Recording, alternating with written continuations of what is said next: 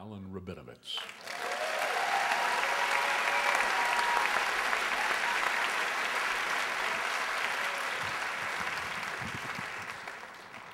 Thank you.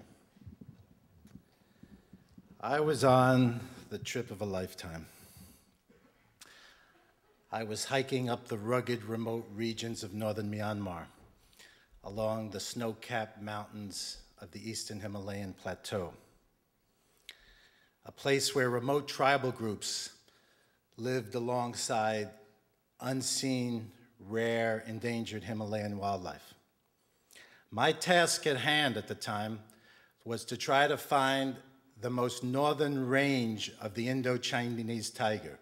And if I could find it in this rugged terrain, possibly even come upon the remote valleys where the tiger might be wandering with the elusive snow leopard.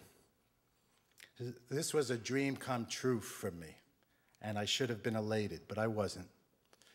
Any feeling of happiness was overshadowed by feelings of sadness, guilt, and fear because I had just walked out on my wife, Salisa, five years without knowing if she would be there when I got back. You see, my wife, she wanted to have a child. She said it was now or never, and never wasn't an option. I wanted everything just to be the same. As a child, I had been born with a debilitating stutter. I lived in a world of silence. I hadn't spoken a full, fluent sentence to another adult human being until I was 19 years old. Now at 45, I was still running. I was still trying to find a world which was away from the world of people who, had, who I felt had so mistreated me. No, I was way too broken inside to think I could be a father to a child.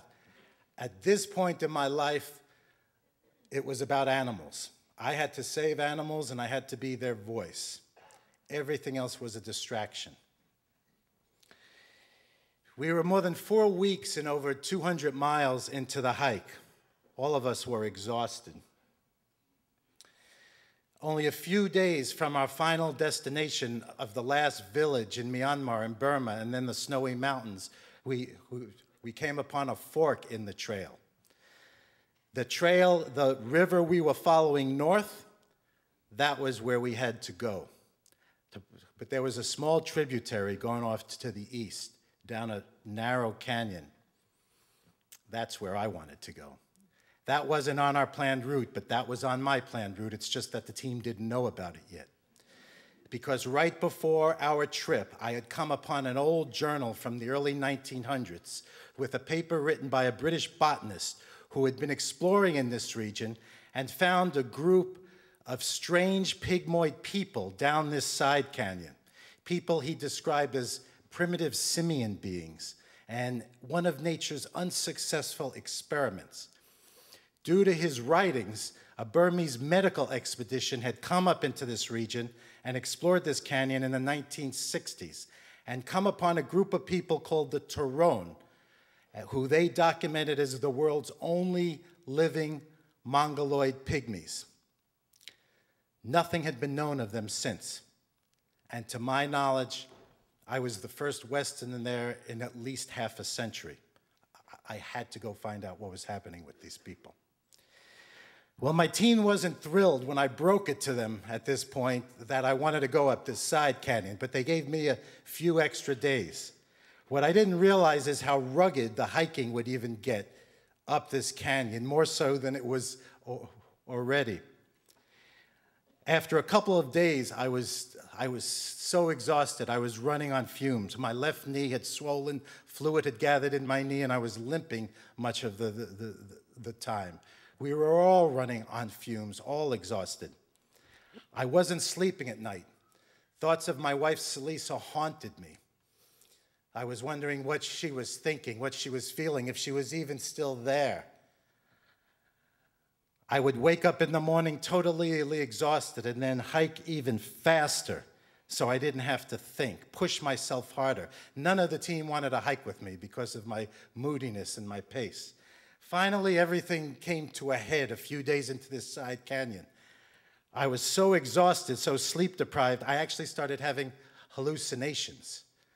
I literally started seeing vivid images in my mind playing out like a TV soap opera. I could see my wife. She had met someone else since I'd left. He was taller, better looking than me. She went out three times with him, twice for lunch, once dinner. He gave her Merlot, her favorite wine. She knew that she shouldn't be doing this, but he fed into the loneliness that was inside of her. She never talked about me, and he never asked.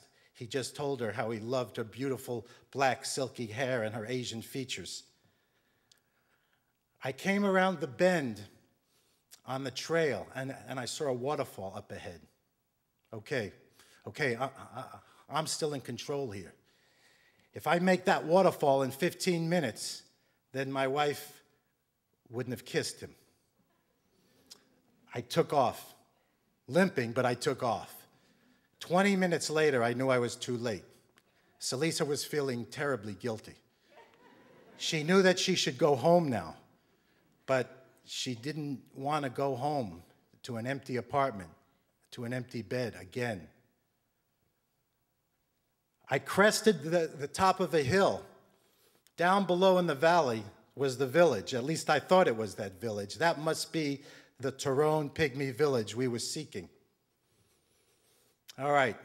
The way that this trail's winding around the mountain and then slowly making its way down into the valley, I probably had 30 to 40 minutes until I got to, to that village. I got to get in control.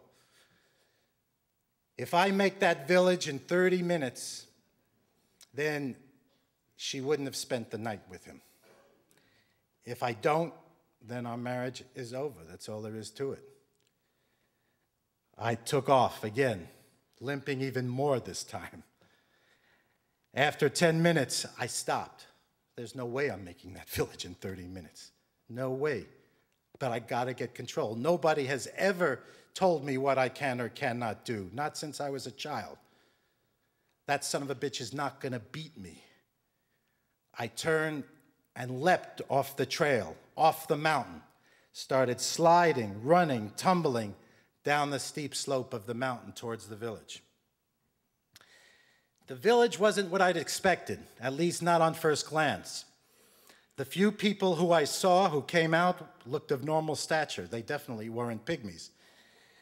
Nobody seemed to know or want to tell me anything about these Taron people. I thought it was all a waste. I felt like things were just falling apart on me, inside and outside. I was ready to give up when all of a sudden I saw a pair of eyes peering from behind a little doorway in one of the huts in the distance. They were not just any eyes, they were eyes set in an old, worn, roomy looking face, and it was only about four feet off the ground.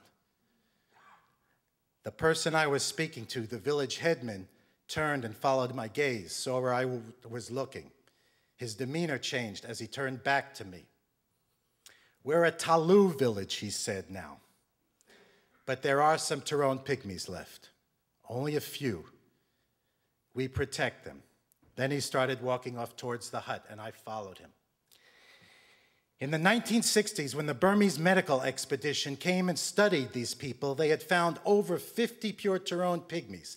And despite documenting high rates of cretinism, mental retardation, goiter, and other physical and mental maladies, they felt this was a pretty stable community, that it would last into the future. But that's not what I was seeing. What I was seeing right now were less than 12 pure Taron pygmies left, and they were all in terrible shape. I didn't get it. Nobody would explain to me or could explain to me why this was. Finally, the village headman took me to the last hut, the most remote hut at the very edge of the, the village. As I walked in, two Taron women disheveled, vacant eyed, scurried around trying to make us tea. There was a fire in the middle of the hut. Sitting by the fire was, was a little impish Taron man, his back turned towards me. His name was Dawi, I was told. And Dawi was 39, and at 39, he was the youngest of the living Taron. and he and his two sisters in this hut were the last pure Taron family left. When I had first walked into the hut, I had caught Dawi's eye as he glanced up at me. There was a look in his eye, a look of intelligence, unlike what I'd seen in the other, in the other Taron. But now he wouldn't face me. I sat down opposite him around the, the fire, staring at the back of his head until finally he turned and our eyes met and our eyes held. That was more than intelligence in this man's eyes. There was a look of anger, a look of challenge, as if Dawi was daring me to mock him or to question his existence. Boy, boy, I knew that look. That was a familiar look to me. That look was the look of a little stuttering boy who, who lived in a world shut out by other adult humans. That was my face. That was a face I'd see every day in the mirror of my childhood. I was staring so intently at Dawi that I didn't notice how close I was to the fire until I started smelling the burning rubber and feel the heat in my, in my foot. My boot had caught on fire. I jumped up, started dancing, stomping, stomping on the, the flames, trying to put out the fire in my foot. All of a sudden, I heard the most bizarre cackling sound. I turn, and Dawi is standing, facing me, almost bent over double with laughter. It was the strangest sight. But I didn't realize at the time that this would be the only time I would ever see Dawi laugh or smile. But clearly, I had broken the ice between us. For the rest of the evening, we sat around that fire, and with the help of a translator, we talked. I told him how my mission in life now was to be saving animals, was to find the last great wild places and to be the voice for some of these great species that were being lost quickly to the world. Dawi just looked at me quietly. Then I asked Dawi something nobody else seemed to want to answer. Dawi, where are the other Taron? What happened to them? Have they gone? Where is your family? Where's your wife? Where's your children? Dawi looked at me for a few seconds. There are no more Taron, Dawi said. Taron babies have small heads and small bodies. They're no good. There's too much pain. There's no more Taron. I didn't know what Dawi was saying to me. I turned to the translator and said, Please make sure that you're translating Dawi's words exactly as he's saying them, because I'm not quite understanding. I think Dawi saw that. He went on. When I was a child, Dawi said, my father told me, This is all the family you will ever have. You will have no wife. You will have no children. The Taron people must not marry with other Taron. There can be no more Taron babies. He said that his father, Dawi's grandfather, had gotten together with the village elders and determined that Taron children were born too misshapen for reasons they didn't understand. They were no good, life was too hard, other people had to help them, and they just had to stop existing. I stared at Dawi, trying to comprehend the idea of a race of people voluntarily taking themselves to extinction. Dawi broke through my thoughts. Why don't you have a family? Dawi said. I do have a family, Dawi. I could picture my, my wife's face, hoping she was still there. My wife, Salisa, but she's very, very far away. You don't have any children. Why don't you have any children? Dawi said. I didn't answer Dawi. I didn't tell him I didn't have any children. Your eyes are sad, Dawi said. Too sad. You have a hole here, he said, touching me in the heart. I know. Me too, he said, patting himself on the chest. The next day, Dawi asked me if I would accompany him up the nearby mountain into the snow. No one else, just me and Dawi. We went up all day and we talked without ever talking. We, we, we, we communicated through gestures, through, through touching, through miming.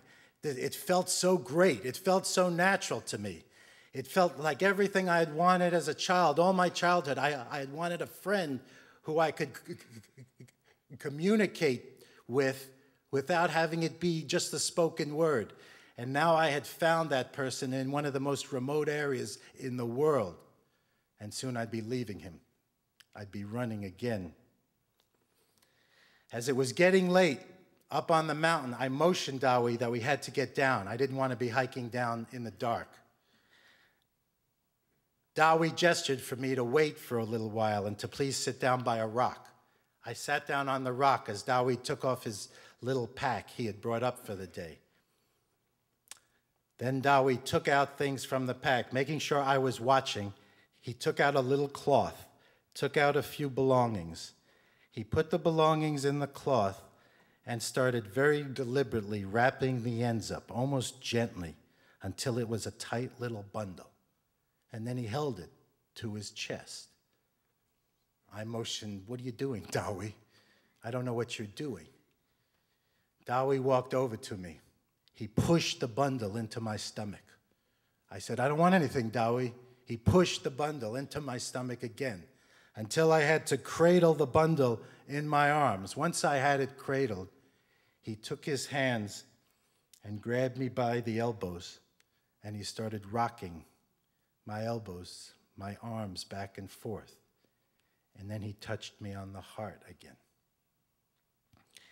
I turned away from Dawi, not wanting him to see the tears welling up in my eyes. You and I are so much alike, Dawi. Born into broken bodies, trapped inside our own head, misunderstood by the outside world who didn't even care to look deeper. But we're not alike, are we, Dawi? That's what you're telling me. I've got choices. I can fix what ails me. You can't. You have no choices. It would do no good for me to ask Dawi what he thought of his future. He was the last of the Taron. He was dying alone. A little more than a year later, I took a little photograph of my newborn son, Alex, and I wrapped it up carefully in an envelope and I mailed it to my friend in Myanmar with careful instructions on what to do with it. It took almost another year until I got a letter back from my friend. In the letter, he wrote, Dawi looked a long time at the photograph. Then he rubbed his fingers over the face.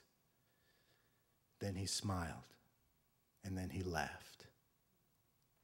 Thank you.